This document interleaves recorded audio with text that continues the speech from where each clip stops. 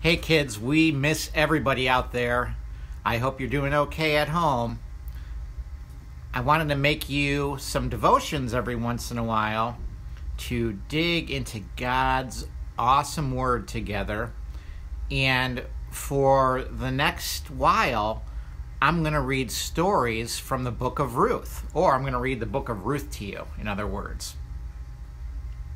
So stay tuned for those. I'm going to put them on Facebook and YouTube so that you can find them and look at them whenever you have an opportunity. And maybe I'll do a couple a week, but I miss seeing you guys. I hope you have a wonderful day, and here we go. Let's pray. Father, I thank you for this morning, and I thank you for your work in our lives and that you are a big God who created the heavens and the earth and you knit us together in our mother's womb and that you are bigger than us being stuck at home.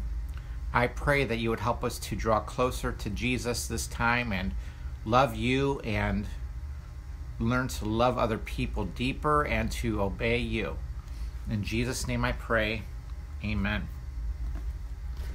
So we are all the way through Judges. Remember, starting in Genesis, and then we went on to Exodus and Leviticus and Numbers and Deuteronomy, and then we learned about Joshua, and then we learned that Israel kept falling into sin, so God sent judges. Well, this is the start of the book of Ruth. And Ruth is a Moabite or a Gentile woman.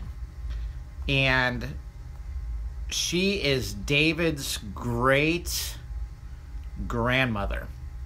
And the story of Ruth happens during the time of the judges.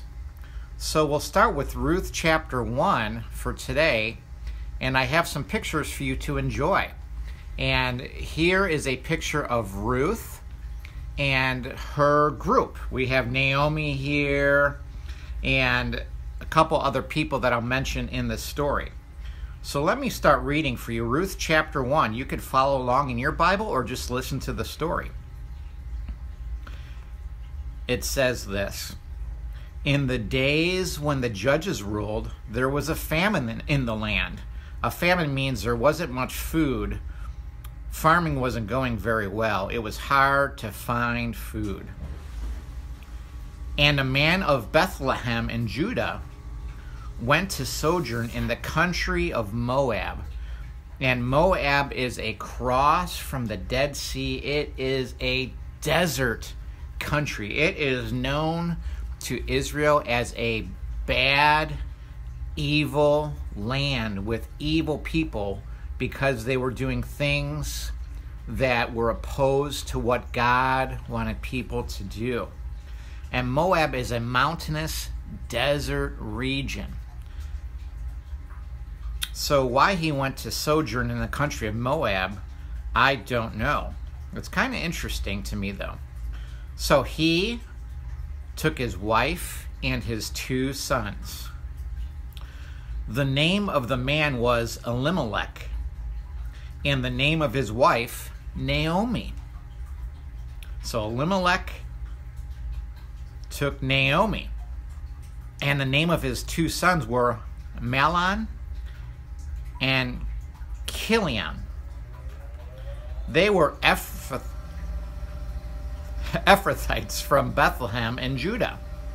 They went into the country of Moab and remained there. But Elimelech, the husband of Naomi, died.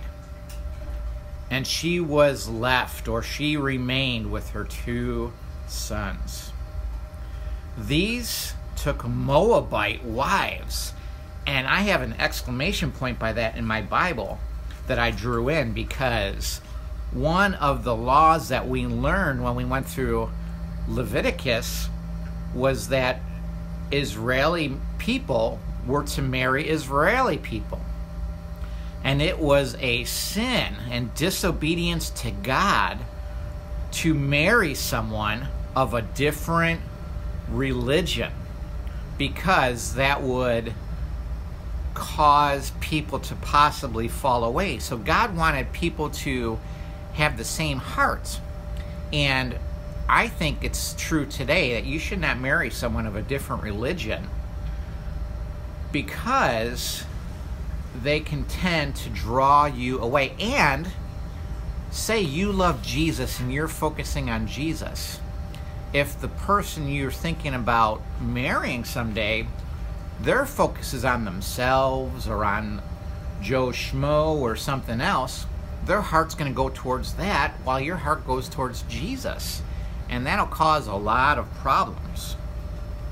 Now, you'd hope if something happened like that, that that person would also follow Jesus. But be it as it may, God said, do not marry those from different religions. Marry within the family of Israel. So, it says in verse 4 these took Moabite wives and disobeyed God. The name of the one was Orpha, and the name of the other, Ruth. They lived there about 10 years. And both Mahlon and Chilion died, or Killian, however you want to say that. Both of the sons of Naomi died. So Naomi's husband died, and Naomi's two sons died so that the woman remained without her two sons and her husband. So Naomi is in a rough land, the land of Moab, and her sons and her husband are dead. But she arose with her daughters in law to return from the country of Moab for she had heard in the fields of Moab that the Lord had visited his people and given them food. So she set out for the place where she was with her two daughters in law. And they went on the way to return to the land of Judah. But Naomi said to her two daughters in law, Go return each of you to her, fa- her mother's house. May the Lord deal kindly with you, as you have dealt kindly with the dead and with me. The Lord grant that you may find rest, each of you in the house of her husband. Then she kissed them, and they lifted up their voices and wept. And they said to her, No, we will return with you to your people. But Naomi said, Turn back, my daughters. Why will you go with me? Have I yet sons in my womb that they may become your husbands? Turn back, my daughters Go your way, for I am too old to have a husband. If I should say I have hope, even if I should have a husband this night and should bear sons, would you therefore wait till they have grown up so you can marry them? Would you therefore refrain from marrying? No, my daughters, for it is exceedingly bitter for me for the sake that the hand of the Lord has gone out against me she had a feeling that she was being judged for turning away from God's people during this time and going into the land of Moab. And she did abandon her people at this time. But it might have been for survival because they heard there was food there. Who knows why? But they did abandon their people. So she was feeling like God was judging her and took her husband and two sons. Maybe she was right. I don't know.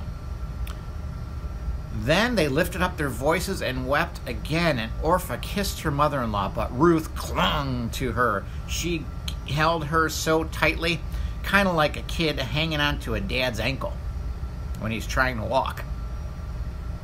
And she said, See, your sister in law has gone back to her people and to her gods. Return after your sister in law. But Ruth said, Do not urge me to leave you or to return from following you. For where you go, I will go and where you lodge, I will lodge. Your people shall be my people, and your God, my God. Where you die, I will die, and there will I be buried. May the Lord do so to me and more also if anything but death parts me from you. And when Naomi saw that she was determined to go with her, she said no more. My favorite verse in this section of Ruth 1 1 through 18 is verse 16. it says this. Now, I want you guys to memorize this verse, so repeat this again and again. It says, For where you go, I will go, and where you lodge, I will lodge. Your people shall be my people, and your God, my God. Now, a Moabite is a Gentile. That means the nations. There's two types of people there's Jews and Gentiles. And unless you're Jewish, you too are a Gentile. And if you're following Jesus and following the Lord, you and Ruth have a lot in common. You have held tightly to the Lord and you love the Lord's people. So you guys have a lot in common with Ruth. So when you memorize this verse, it's true of Ruth what she said, but also true of you. And I want to encourage you with that. And next time we will read a little bit more into the story of Ruth. If you have any questions or would like to leave a comment or a question for me to answer, leave a comment there and I will get back with you. Have a great day.